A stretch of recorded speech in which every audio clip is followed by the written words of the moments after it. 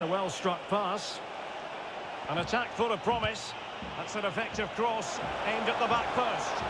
Well, at one point on its flight, I wondered if the keeper would have difficulties, but no problems in the end.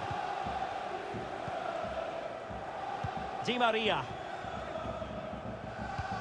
Oh, nice ball over the top to chase. A glorious chance. It's one thing knowing what he can do. It's another thing altogether trying to stop him.